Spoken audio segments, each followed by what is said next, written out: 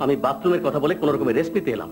নব্বই দশক থেকে শুরু করে এখন পর্যন্ত যার অভিনয় সবার মন কেটে নিচ্ছে যার অভিনয় দেখে হাসি বন্ধ করে থাকার কোনো উপায় নেই সে হলেন অভিনেতা কাদের।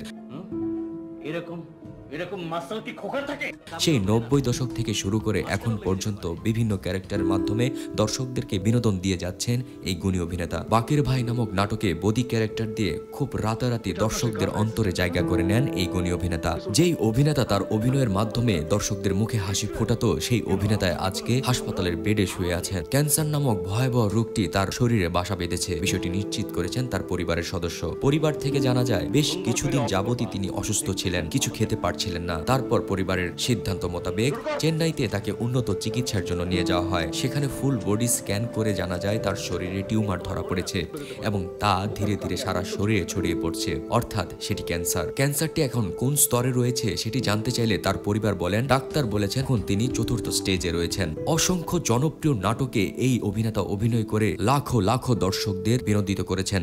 আপনার পায়ে ধরে আই টাচ ইউর ফুট মঞ্জুর। মঞ্জুর এই এই গাধাটাকে ঘাট ধরে বের করে দাও তো। অভিনেতা কাদের এবং তার পরিবার দেশবাসীর কাছে দু হাত তুলে দোয়া চেয়েছেন যেন তিনি সুস্থ হয়ে আবারও দর্শকদের কাছে ফিরে আসতে পারেন। অভিনেতা কাদেরের অভিনয় আপনাদের কেমন লাগতো অবশ্যই আমাদেরকে কমেন্টস করে জানাবেন। আর সবসময় সত্য নিউজ সবার আগে পেতে মিডিয়া হার্টকে সাবস্ক্রাইব করে রাখুন। ওই ওনাদের দুইজনরে দুইটা কোল্ড ড্রিঙ্কস দে।